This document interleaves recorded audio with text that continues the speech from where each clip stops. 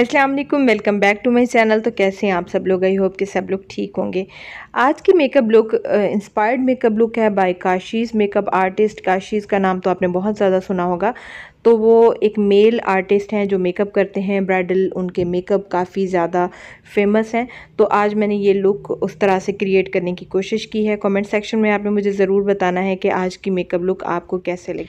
तो यहाँ पर मैं अपने आईब्रोज़ को प्रॉपर फिलअप करूँगी और नीट करूँगी। आईब्रोज़ को फिलअप करने के लिए मैंने जो प्रोडक्ट यूज़ किया है, वो लिशियस कास्मेटिक्स का है।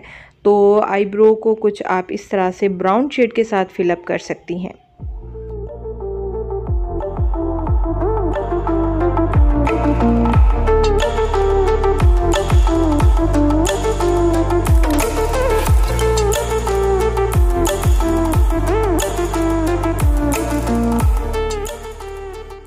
अपने आईब्रोज़ को प्रॉपर फिलअप करने के बाद अब मैं अपनी फाउंडेशन से अपने आईब्रोज़ को नीट करूँगी। अगर आपके पास आई बेस नहीं है तो आप फाउंडेशन यूज़ कर सकती हैं टीवी पेंट स्टिक भी यूज़ कर सकती हैं as a eye makeup base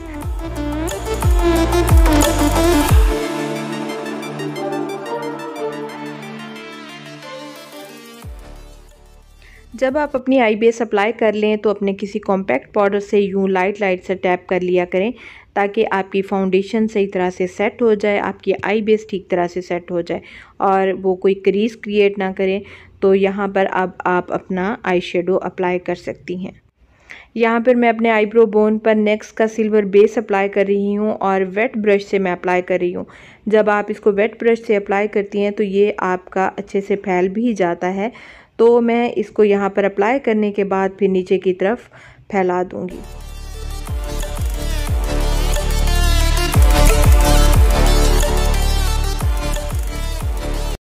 यहाँ पर भी मैं नेक्स्ट का सिल्वर शेड अप्लाई कर रही हूँ और इसको भी उसी प्रोसेस के साथ अपने पूरे आईलेट के ऊपर फैला दूँगी और फिर अपनी आई बेस की तरफ़ जाऊँगी। तो आप देख सकती हैं कि उसी कलर को मैंने हल्का सा फैला दिया है। अब मैं यहाँ पर ग्रीन शेड अप्लाई करूँगी और मैं ये जो शेड अप्लाई कर रही हूँ, मैं फ़िंगर की हेल्प से करूँगी।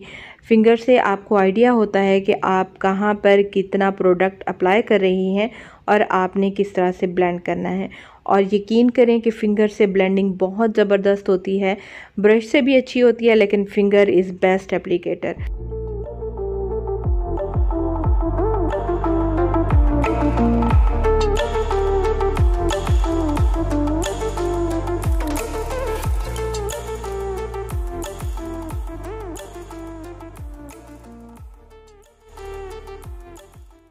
अब जो शेड मैंने अप्लाई किया है, इसके ऊपर मैं सेम इसी शेड का लाइट कलर अप्लाई करूँगी, ताकि हमारा जो एक शेड है, वो बेस्ट फॉर्म में आ सके, हमारी ब्लेंडिंग टू डिफरेंट कलर्स के बीच में हो सके। तो आप देख सकती हैं कि टू डिफरेंट कलर्स में किस तरह से डिफरेंस आ रहा है। तो कुछ इस तरह से उसी शेड का एक नंबर लाइट शेड आपने दोबारा से अपनी आईलेट के ऊपर अप्लाई करना है।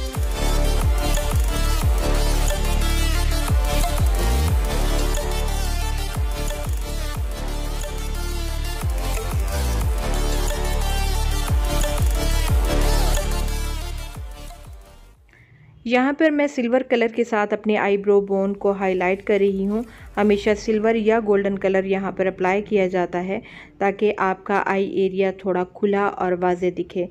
उससे आपकी एक आई मेकअप की लुक बहुत अच्छी आती है।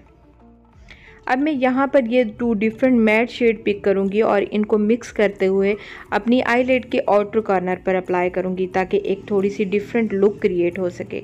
तो आप देख सकती हैं कि यहाँ पर आपने कुछ इस तरह से अप्लाई करना है।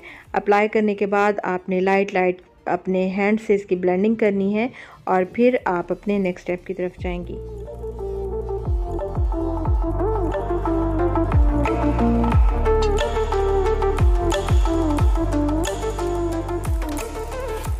जब आप ये कलर मिक्स करके और यहाँ पर आप ब्लेंडिंग करेंगे तो ये कुछ आपका आउटर कॉर्नर इस तरह का दिखाई देगा। अगर चाहें तो आप यहाँ पर ग्रे शेड भी ऐड कर सकती हैं, जो कि मैं एंड पर जाके करूँगी। और इसके बाद मैं यहाँ पर लाइनर अप्लाई करने वाली हूँ। आईलाइनर मैं यहाँ पर सिर्फ़ एक लाइन क्रिएट करने के लिए अप्लाई कर रही हूँ। आगे जाकर जब मैं आई अप्लाई करूँगी तो फिर मैं प्रॉपर वे में लाइनर फिर दोबारा से अप्लाई करूँगी। तो आपने कुछ इस तरह से नीचे की तरफ़ देखते हुए अपना लाइनर अप्लाई करना है।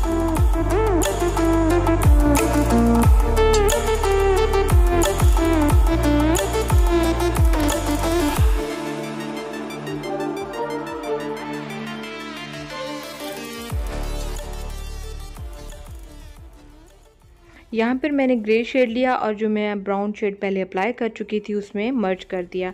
तो आप देख सकती हैं कि ये कलर कुछ इस तरह का दिखाई दे रहा है।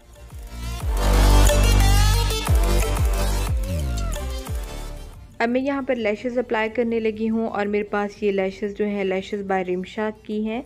और इसके अलावा जो है ग्लू मैंने जो यूज़ की है, वो मैंने स्वीट टच की ग्लू यूज़ की है। अभी तक स्वीट टच की ग्लू के साथ कोई मैच नहीं करता। ये बेस्ट रिज़ल्ट देती है और ज़्यादा महँगी भी नहीं है। अब लैशेज़ अप्लाई करने के बाद हमारी लुक आलमोस्ट कंप्लीट हो चुकी है। मैं यहाँ पर दोबारा से लाइनर अप्लाई कर रही हूँ ताकि अपने आई मेकअप को एक फ़ाइनल और प्रॉपर लुक दे सकूँ। तो जो हमारी फाइनल और प्रॉपर लुक है, वो कुछ इस तरह की है। कमेंट सेक्शन में आपने मुझे ज़रूर बताना है कि आज की मेकअप लुक आपको कैसी लगी। इससे रिलेटेड कोई क्वेश्चन हो तो आप वो मुझसे कमेंट सेक्शन में पूछ सकती हैं। वीडियो अच्छी लगी हो तो वीडियो को लाइक कीजिएगा। इसके अलावा अगर अभी तक चैनल को सब्सक्राइब नहीं किया तो सब्सक्राइब करें। साथ में बेल आइकन को भी ज़रूर हिट कीजिएगा। Thank you so much and Allah